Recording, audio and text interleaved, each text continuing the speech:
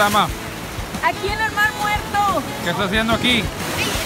Pues lavándome los pies si quieres porque tengo frío. Bueno,